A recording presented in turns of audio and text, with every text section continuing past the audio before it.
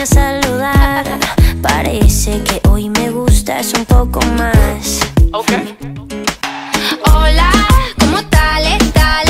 Uh, so nice to meet you.